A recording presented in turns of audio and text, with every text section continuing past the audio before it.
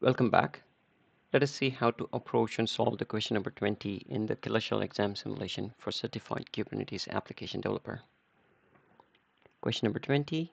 So we have to connect to this uh, host, um, CKD7326. Let's connect to that. And the question says, in the namespace Venus, you'll find two deployments named API and frontend.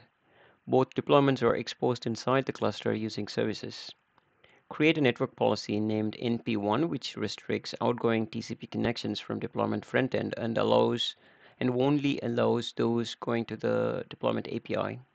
Make sure the network policy still allows uh, ongoing, sorry, outgoing traffic on UDP or TCP ports on 5340 DNS resolution. So test using wget www.google.com and wget API at port 2022 2222 uh, from uh, part of deployment uh, front end. So the focus uh, of this question is on uh, the network policies. And uh, it's uh, clearly saying we have to restrict the outgoing TCP connections uh, on the deployment. So specifically on the egress network policy. So let's inspect and test the connectivity between these ports see if we are able to connect uh, using these services from uh, the front-end pod to uh, the API pod and the other way, um, vice versa. And also try and connect to the outside world by uh, trying to connect to the google.com and, and see if we are able to reach the outside world as well from uh, one of these pods. And then uh, create a network policy called NP1 uh, and add those policies to restrict the output connectivity and just uh, make an exception for uh, the TCP and UDP ports on uh, port number 53 for the DNS resolution. Let's get started. So kubectl on the Venus. Um, okay, even before that, yeah, kubectl on the Venus uh, namespace at all.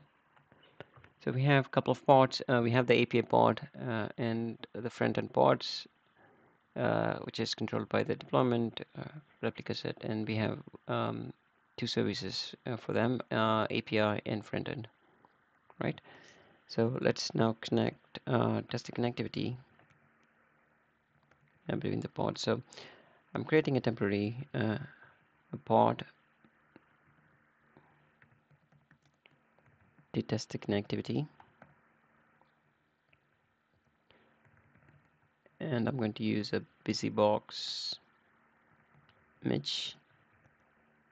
And first I'll try and uh, connect from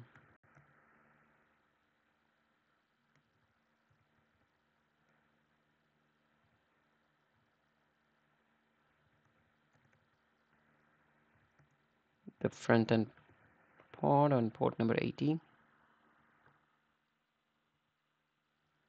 so there should be a space here.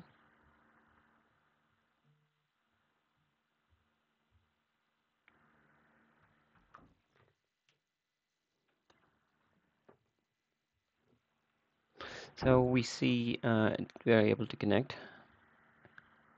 And we'll do the same thing We'll do the same thing for the API on port number 2222.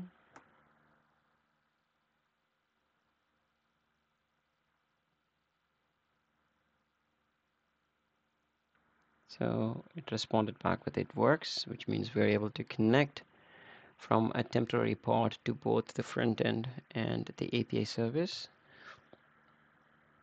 Now, uh, from these pods again, uh, let's directly connect to the front-end pod uh, and see if we are able to establish an outbound connectivity.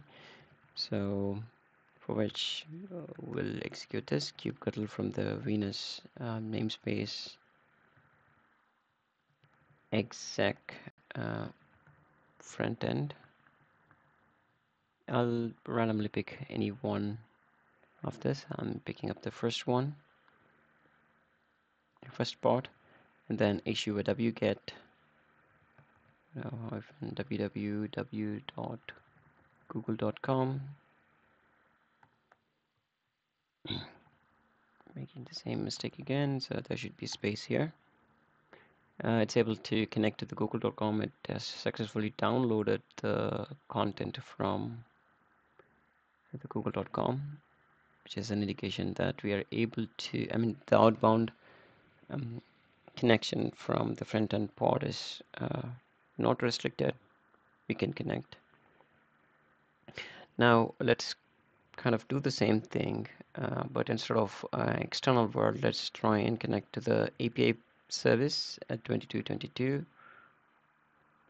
and we are able to do so so this confirmed there's no network policy in place and uh, the connection or uh, connection is not restricted at all uh, now let's make use of our Kubernetes documentation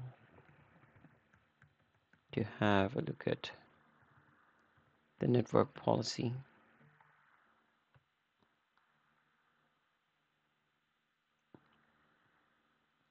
And we have to focus on the egress uh, to work on to restrict outbound connectivity. Yep, so the, we'll, we'll focus on this bit. I'm going to copy the entire thing from here, head back to our terminal, and we'll create a 20 underscore network policy.yaml.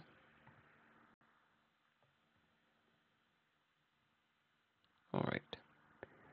So they have clearly instructed that we have to um, name the network policy as NP1 and network policies are namespace to the source so we have to give uh, the namespace. Pod selector uh, we still have to grab that bit. Uh, we'll keep that as is for now. Um, so egress is 2 we are not going to uh, do it based on the IP blocks. Uh, there are other uh, we can we can basically select it based on the um, labels and selectors, which we'll again refer back to the documentation and get that done. So um, yeah, so we'll remove this bit and copycat. Okay, even before copying that, we know for a fact that we have to allow the connections on port 53 for DNS resolution. Um, now we'll copy this. So we have to do this for both the TCP as well as uh, the UDP port, right? So for now, let's save this. Uh, let's not apply any changes. It's still half baked. So kubectl um, in the Venus namespace, um, get all with the labels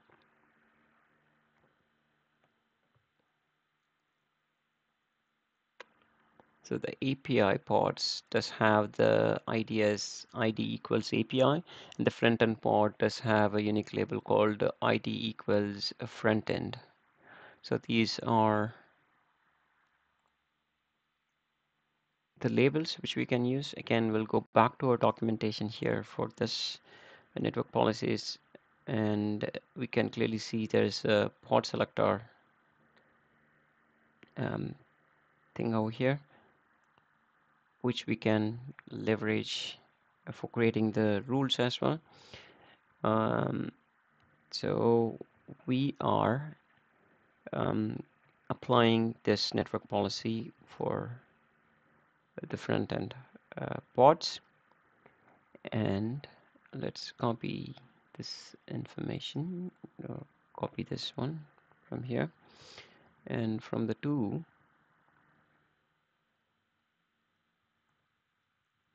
uh, we are not restricting anything based on the IP. Uh, let's paste what we have copied. So we are going to use the pod selector here as well. And let's fix the indentation.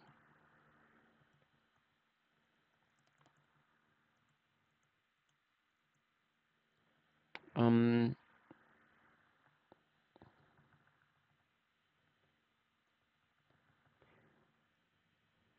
so from um, from the front end port, we should allow the connectivity only to the API port, allow egress uh, only to the ports uh, that matches this uh, label. And here as well, we have to correct this. Uh, this has ID, not role, ID as front end. Another thing to remember is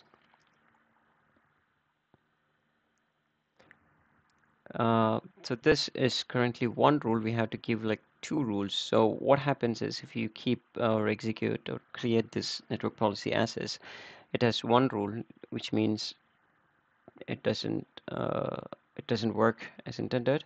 So we have to create two rules. Um, so just prefixing or making this as a, a separate uh, entity uh, will be able to uh, I mean, this will be treated as a separate rule. So this is the second egress rule. So first, and this is the first egress rule.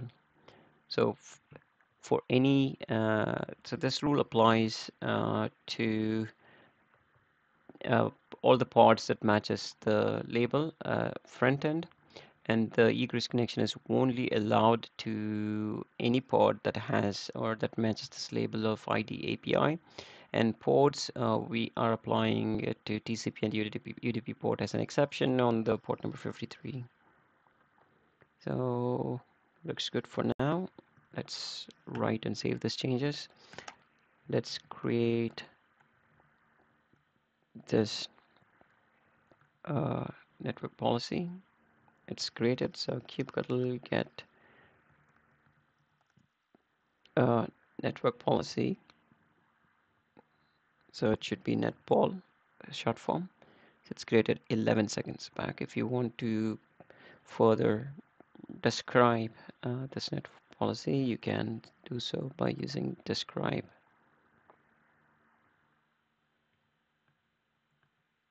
Np1 so not affecting the ingress traffic, allowing egress traffic uh, to port and to port this one. So looks looks okay to me. Now we have to test connectivity again to see um, if it is uh, whatever the network policy we have created is working as intended, for which um, we'll do this exact so I'll pick up any front-end pod. Pick up the first one. And we'll use wget. Connect to google.com it's actually trying to resolve uh, but we didn't get any response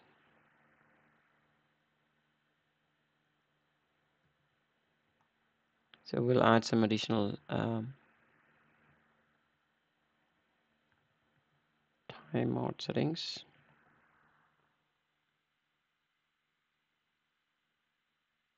So it timed out. Uh, it tried for three seconds and uh, it's not able to successfully establish a connection. So that works. Uh, we'll execute the same thing from the API any of the API port because the policy that we've created is only for uh, front end so that can that's working as intended. Um, let's let's do one more thing uh, now. So we uh, should be able to connect to the API uh, service 2222 port uh, this is uh, good indication to check um, because we're trying to connect to the service uh, by using its service name, which in this case is API, and on this port 2222. Um, if our DNS resolution, the second rule for the DNS resolution, which we have enabled on the port number, both TCP and UCP, UDP ports on 53 is working fine, we should be able to uh, connect. So the name resolution, the DNS resolution is, is working as intended. So this seems to be working now. So yeah, that concludes the question number 20 uh, in the CKAD exam, uh, a killer simulation. Once again, thanks for your time watching. If you've liked the video, don't forget to hit that subscribe button. So we'll see you in the next video. Thank you.